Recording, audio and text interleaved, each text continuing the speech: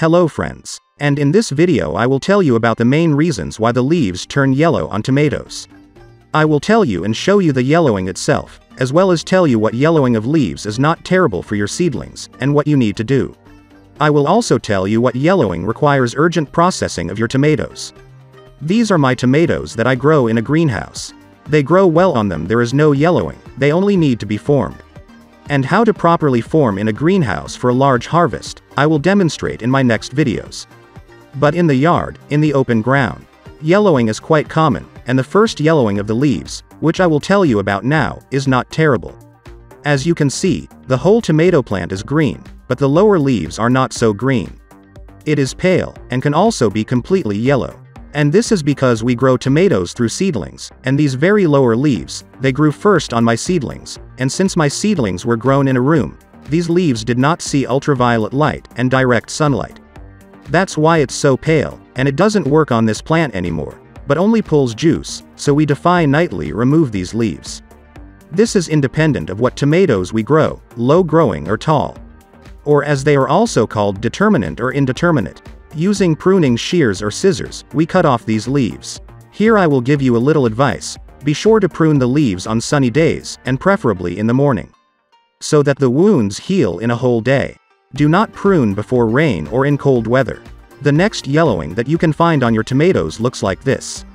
As you can see, the leaves are green, and some on it are very yellow and dried. Such yellowing occurs on seedlings that have not been tempered, as well as on seedlings and on those tomatoes that are watered by sprinkling namely on the leaves early in the morning, or during the day.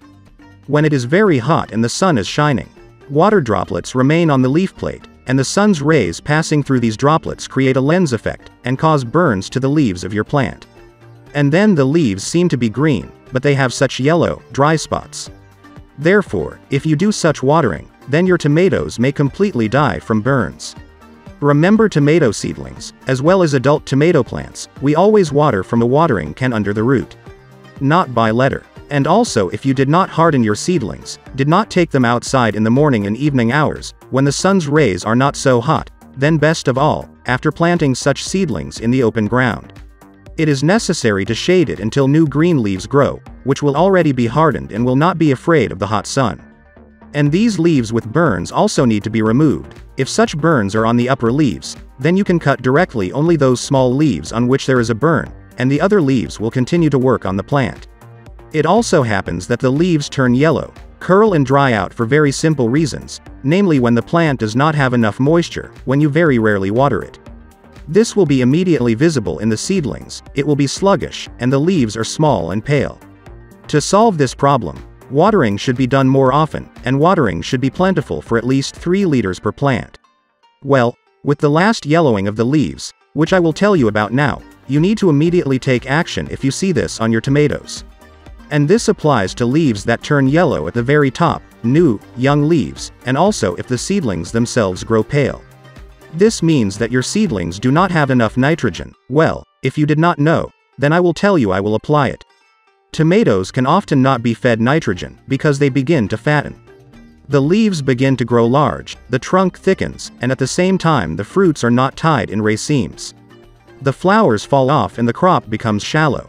So I recommend that you use organic nitrogen, which you can prepare yourself. For example, collect weeds, soak them in a bucket for one week.